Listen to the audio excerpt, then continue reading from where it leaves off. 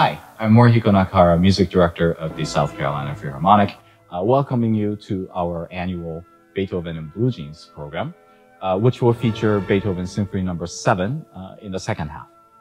And of course, uh, in the first half, we have two works by American composers, a very recent work that was actually uh, was originally scheduled to be premiered in March of 2020, uh, and it was postponed due to the pandemic, and it's a work by Carlos Simon, young American composer called Fate Now Conquers, uh, which was the work uh, commissioned by the Philadelphia Orchestra uh, in celebration of Beethoven's 250th uh, birthday, which was 2020. Uh, uh, Philadelphia Orchestra had planned to celebrate the occasion by performing all of Beethoven's nine symphonies, and to go with many of this, these symphonies, they were they commissioned uh, contemporary composers, living composers, to create sort of uh, a working response to a to different Beethoven symphonies. And so Carlos Simon was uh, chosen to write a piece uh, as to as a companion piece to Beethoven's Seventh Symphony.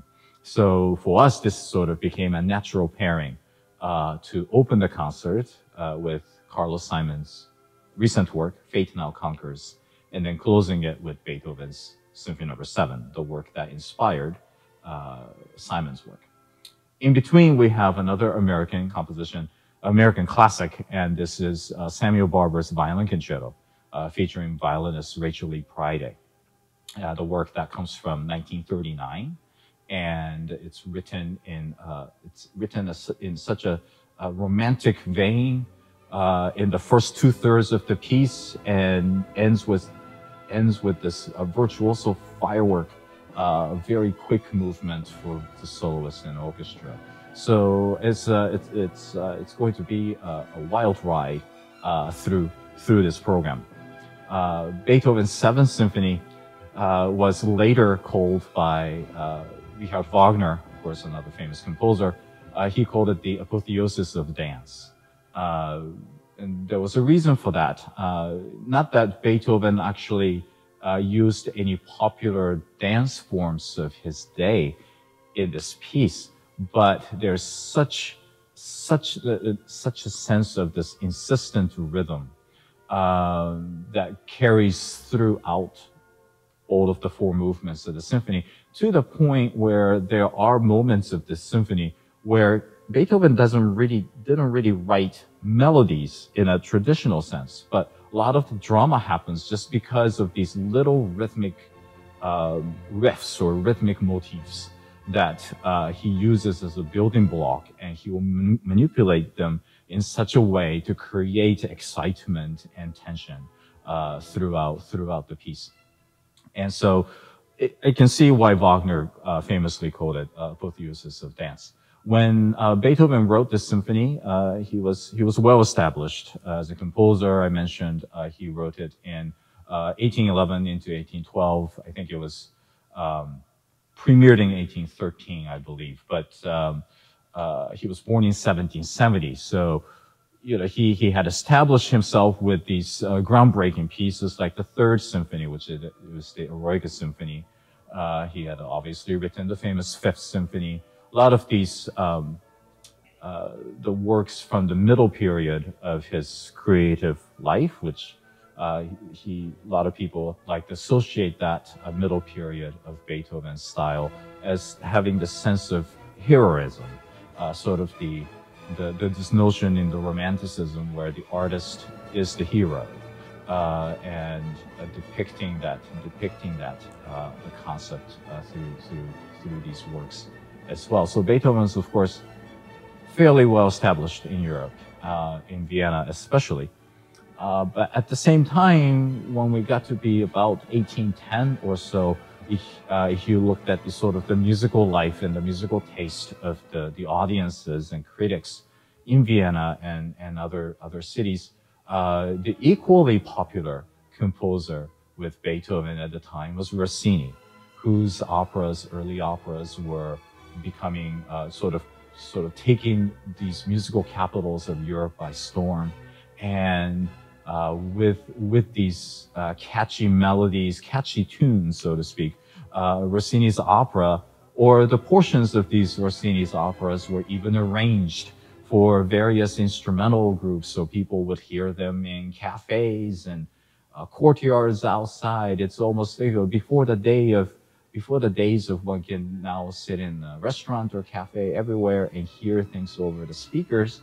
It was almost the equivalent of that, and people were taking in Rossini's music in this manner uh, in their everyday life. And so Beethoven, on the other hand, a lot of the pieces he was writing, uh, they were met with sort of the equal part uh, bewilderment and astonishment sometimes. Uh, people obviously admired uh, Beethoven's uh, ingenuity as a composer, how he would, uh, he, how, how, how he could take musical fragments, sometimes the smallest fragments. Think of the opening of the Fifth Symphony, the first movement of the, the famous Beethoven's Fifth, and how he could build an entire movement or sometimes an entire piece of music just using those four notes. Uh, and, you know, so it was, it was considered, he was considered such a, such a genius, but then at the same time, people were sometimes sort of uh, dumbfounded by sort of what, what he was up to because sometimes he was kind of going just beyond sort of where the public was, uh, public was uh, comfortable uh, at the time. But when he wrote the Seventh Symphony, and so that's why some of the pieces he wrote, initially the receptions were rather lukewarm. Uh, but this wasn't the case really with the Seventh Symphony. Um, of course, it also helped that the when the symphony was premiered, there was another new piece by uh, Beethoven that was on the program. And the piece was called Wellington's Victory, and it was sort of a war symphony. Uh, it's a very uh, militaristic uh, piece of music, and it depicts sort of think of uh, something like Tchaikovsky's 1812 overture uh, in a similar similar spirit, uh, celebrates the celebrates Wellington's victory over over Napoleon's brothers' uh, forces uh, just just just just earlier, and of course the the Viennese public wanted to hear this brand new celebration, sort of the patriotic celebration, almost if you would, uh, in Wellington's victory, and of course that piece was met with with with such enthusiasm. We don't play Wellington's victory a lot uh, these days, but we still play the Seventh Symphony a lot. And the Seventh Symphony, which was on the same program, was also well received as well. Uh, apparently, it was put on uh, multiple times. Uh, it was performed on multiple occasions, repeat performances soon after its premiere, which is also uh, always a good sign when it comes to the public's reception of a new work. Uh, you know, if it's if it's uh, if it's popular with the public and the, and the critics and so on, it's more likely that the people want to hear it again right away. So it was sort of an interesting indicator of of how popular and how how well received uh, this symphony was. Uh, the spirit of dance, as I mentioned, uh, sort of carries throughout carries throughout uh, throughout this piece. The final movement is sort of an exhausting, almost like a perpetual motion uh, type of movement where uh, it's almost like uh, basically we're just dancing until our legs fall off, kind of uh, musical equi equivalent of that uh, uh, imagery there. and then, of course, we have the famous second move movement, the allegretto movement of the symphony, which allegretto, allegretto words like allegro, andante, adagio, all these Italian terms often refers to uh, it tells us performers how slow or how fast uh, a piece of music, a, a, particular movement or a section of, uh, of, of, a movement goes. And Allegretto actually is on the slightly faster side. Um, he, uh, Beethoven at one point had considered switching the instruction, the designation for the second movement to andante, which is literally means walking pace. And unless you're trying to catch a subway, subway in New York City or something, the walking pace is usually somewhat leisurely. And he didn't want it to be a, a, a, a leisurely tempo, so he chose the allegretto. Allegro, we hear that uh, word a lot uh, to describe something. Allegro means lively and often usually means something that's lively and lively. So of course, fast, faster side. Uh, something you have much faster like presto, which means very quick. Uh, but Allegretto is slightly slower than Allegro, but still at a li- rather lively pace. So even in what is considered sort of a traditional, traditional slow movement, slow movement of the Seventh Symphony, Beethoven is still kind of urging us to kind of move, move along and, uh, in a, treat this rhythm of pom, pom, pom, pom, pom, as, not as a sort of a solemn processional way, but more in a dance-like uh, manner as well. Uh, one interesting writer actually compared the pairing of at the premiere of Wellington's Victory with the Seventh Symphony.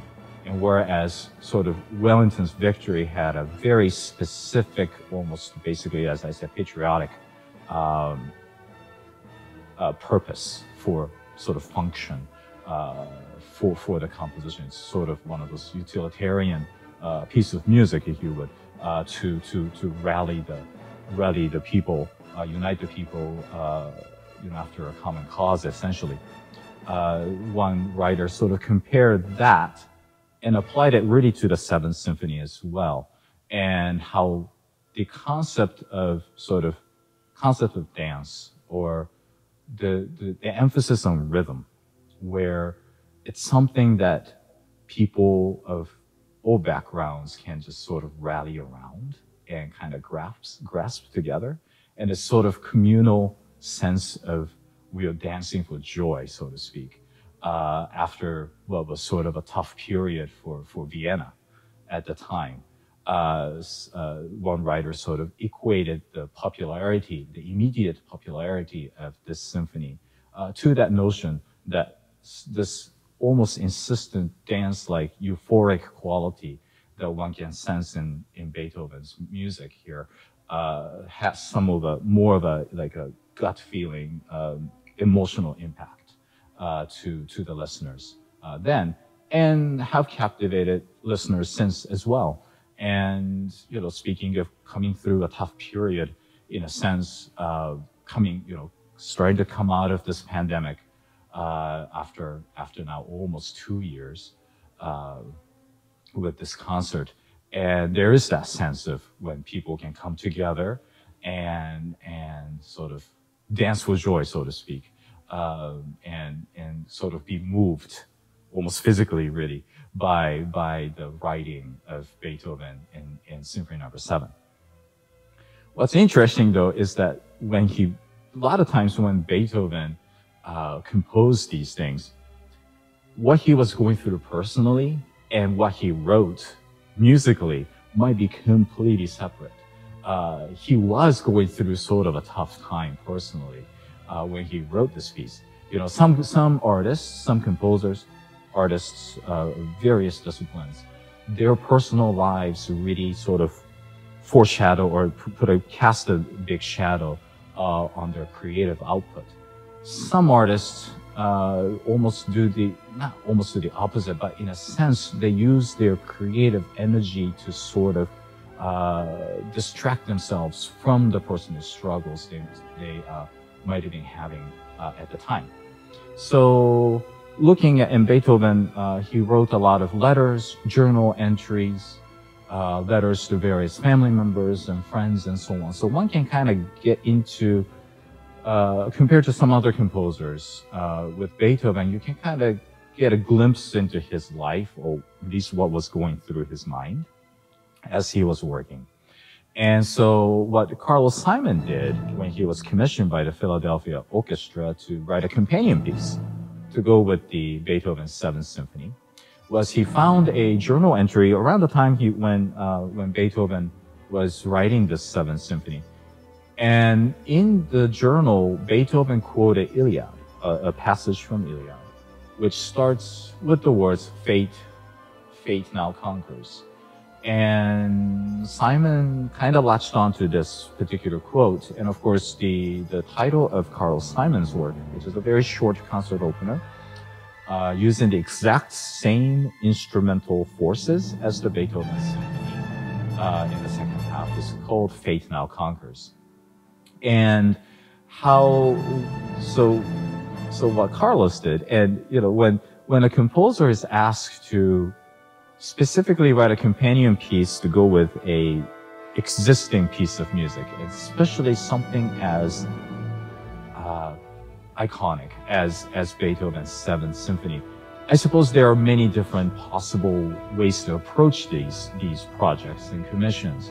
You know, one is to take sort of the musical DNA of the of the work that uh, inspired this, you know, your work. So it could be taking a, a portion of or some kind of a rhythmic motif from Beethoven and using that as a as a, as a building block uh, for your own work. So that's that's one possible way. And Simon does this uh, by taking the the opening of the second movement of the symphony, becomes sort of the musical building block for his his composition, uh, Fate Now Conquers. But as a composer, he he writes about sort of the mm, sort of the imagery that sort of the ideas, the sort of his imagination, where his imagination uh, went when he saw this passage quoted in Beethoven's journal that starts with Fate Now Conquers.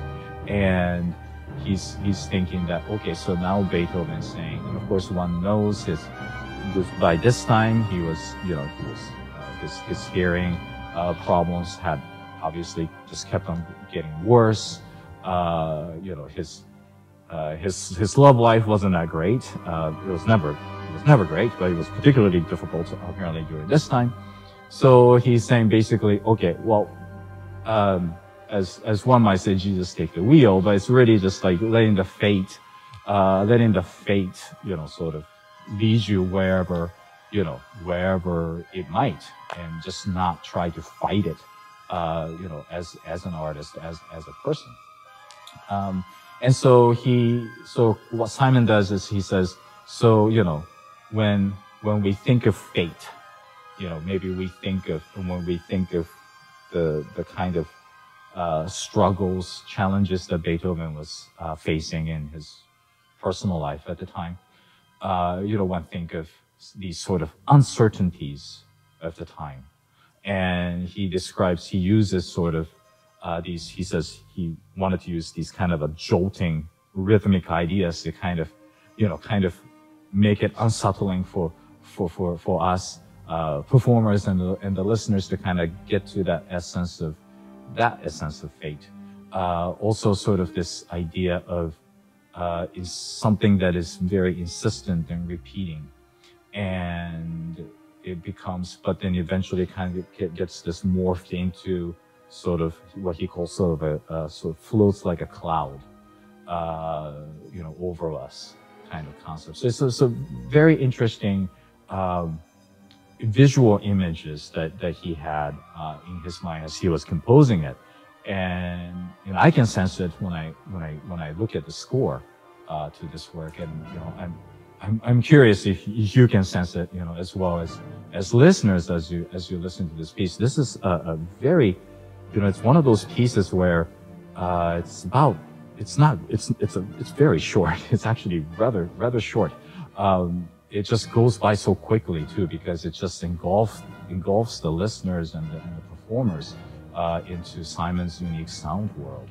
Uh, so it's you know it's um, I'm glad that uh, we can share this work with you, and also share it on the same concert as the Beethoven Seventh as it was originally intended uh, last year when it was uh, when uh, two years ago actually when it was written. Um, Another thing uh, that makes this concert unique is the, the Barber Violin Concerto, uh, which is in the middle of the concert. And this is one of my favorite uh, violin concertos. Uh, and the, the reason for that is because, and, and it's the same reason why violinists now love performing it, I think. But initially, this became sort of a roadblock for, for a lot of uh, orchestras, a lot of violinists, a lot of conductors and that is, it just seems kind of disjointed, uh, this Barber violin concerto. It's in three movements, as many concertos are. First two movements are about 10 minutes each, so, you know, standard romantic concerto length for, for a violin at least. And speaking of romantic, it is romantic. I mean, it's so lush. Uh, the way, the way the, the solo violin just starts this the searching melody from from the get-go, from the from the very first note of the first movement, uh, to the the opening of the second movement, which has this timeless, very floating, long melodic line played by the oboe uh, first uh, in the orchestra. One associates the word sort of romantic with this music, and Barber was. For, for lack of better word, he was considered neo-romanticist uh, as a composer. Like think of his most famous piece, which is Adagio for strings. And that sense of long arching melody, uh, the, the use of chromatic uh, notes, but as a, you know, as an ex expressive tool, uh, to, to, to create, evoke certain kind of uh, response from us performers and, and audiences alike. So all of these uh, are there in abundance in the first two movements. Then you get to the third movement, which compared to the first two, so at this point you've had about almost 20 minutes of music. The last movement, the third movement, is like four and a half minutes. And it's a perpetual motion of this virtuosic runs up and down with non-stop activity, rhythmic activity in the solo line and also in the orchestra as well. It's, it almost sounds like some kind of a duel at times between the violin uh, and the orchestra. And it's, and also harmonically and musically, it just seems like it inhabits a different world than the, than the very first two movements. And that kind of caused Barber some, um, some problems when the piece was first written uh, he said that was the way he intended this piece to go. He said he didn't want to change anything about the piece. But there was a little bit of a drama when he wrote the piece. He was actually um, commissioned to write this piece by uh, a guy named Samuel Fels, who uh, apparently had a famous soap company that he founded. And he was approached by this, this um, donor, uh, sponsor basically, uh, who had a sort of a young violinist um, by the last name of Briselli. And uh, this violinist was just starting sort of a, uh, a concert career. And I believe he was, Briselli was also a classmate of Barber's in school at Curtis uh, Institute in Philadelphia. And so Samuel Fels wanted to, wanted Barber to write a violin concerto specifically for for Briselli to play and offered a commission fee of $1,000. And I don't know, I didn't do the math to see what that is an equivalent uh, uh, today, but this is, you know, in the 30s, right? So $1,000 in 1930s probably is a lot of money today. Uh, but so he, you know, he was asked to write this piece and he, he wrote the piece. He, he wrote the first two movements, the aforementioned sort of the romantic, more romantic part of the piece first. He, he finished those movements first. He sent it to Briselli, the intended, intended, uh, dedicatee and the person who was going to unveil, uh, debut this, premiere this, uh, new concerto at some point. Uh, Briselli liked the, liked what he, what he saw, what he played. He said to Barber, this is great. I hope in the third movement that you would explore more technical aspects. Uh, make it, you know, essentially saying, make it, make it showier. Uh, you know, make, make it something that is a vehicle for me to show off my, my chops, you know, my, my, uh, technique as a violinist. So Barber did that, wrote this fiendishly difficult movement, and then sent it to Briselli, and then Briselli didn't like that. Uh, for the longest time, and Briselli just passed away not, not too long ago, a few years ago.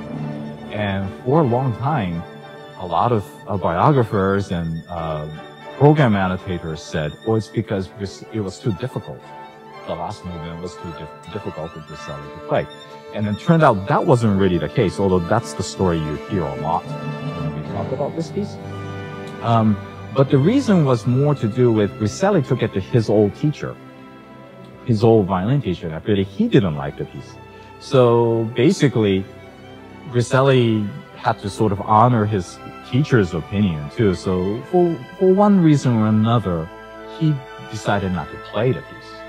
And so Barber, in the end, ended up getting sort of half of the, so he ended up getting $500 out of the $1,000 commission fee, sort of the, the money down part. So the, the first part of the commission he got, but he never got the other $500.